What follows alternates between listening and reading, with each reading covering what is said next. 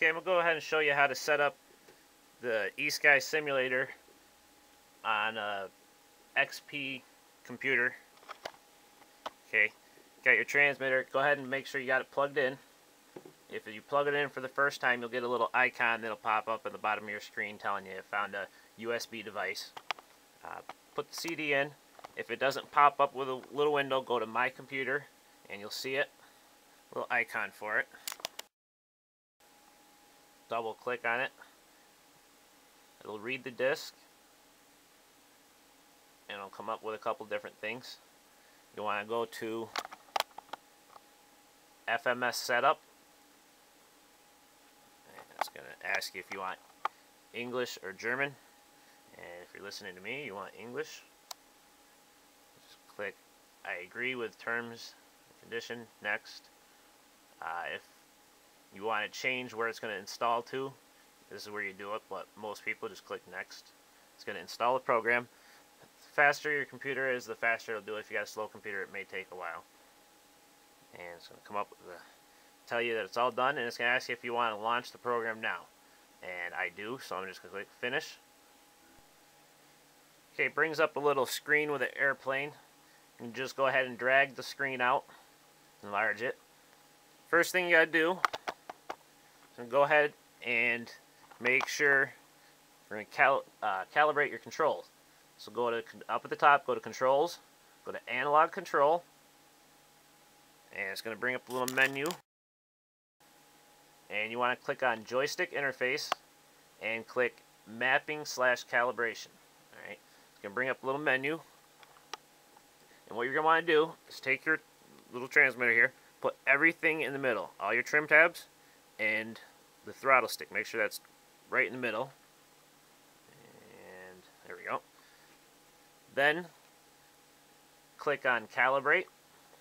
Now what you want to do is move the sticks all around the circles.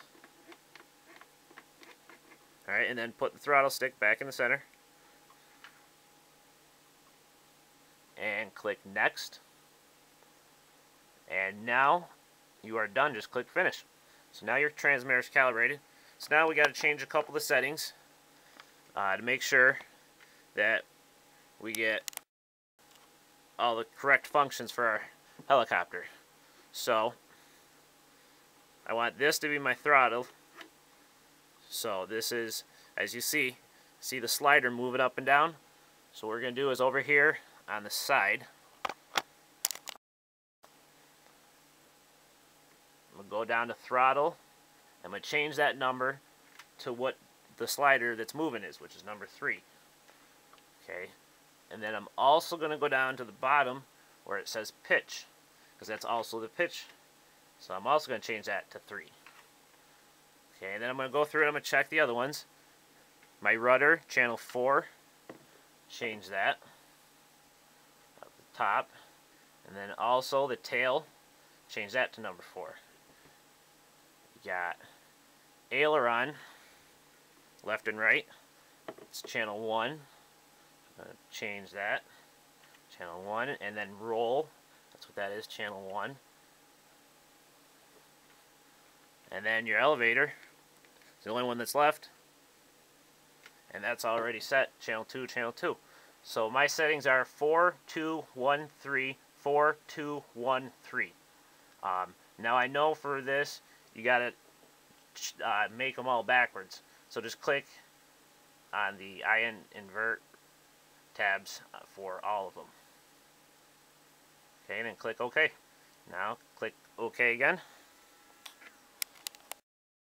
Scale back out. Okay, we're going to go ahead and since we're going to want to practice for helicopters, go up to the top, click on Model, Load. It'll bring up a little menu. Uh, you can go online to their website and download additional models, but uh, for the ones here, I'm going to click on 3D. This is a collective pitch helicopter, so it's going to be in stunt mode, meaning you're going to want to have the throttle stick in the middle. Click Open. You'll see it come up on the screen. And again, I, I know the controls are the right ones. I think so. and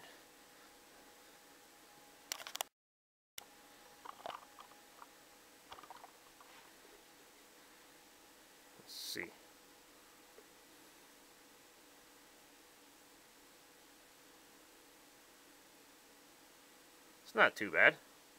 You know, practice on what you need to practice on. If you need to practice on hovering, practice on that. I mean, it's fun to play around, but use it as a simulator to learn on. And again, there are other ones you can uh, download and buy. So, but this this works pretty good. It's nice. I'll teach you what you need to know, the basics of it at least. Bring it back down here. Oh, I crashed. And when you crash, just hit I, and that'll reset your model for you.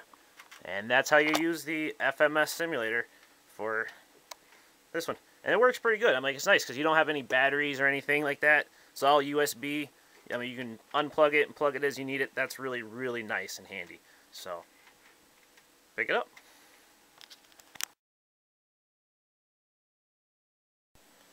Okay, one other thing I want to tell you about.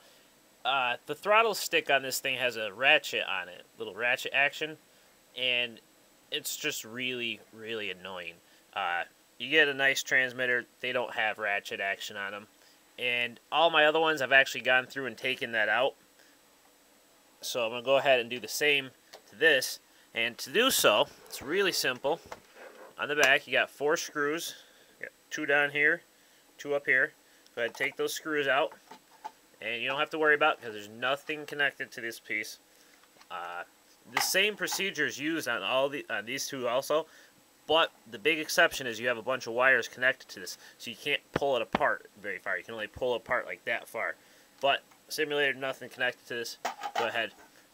And what we're looking at, throttle stick is right here, and here's this ratchet thing. So what I'm going to do is I'm going to go ahead, unscrew it, flip it over, and I'll no more ratchet action.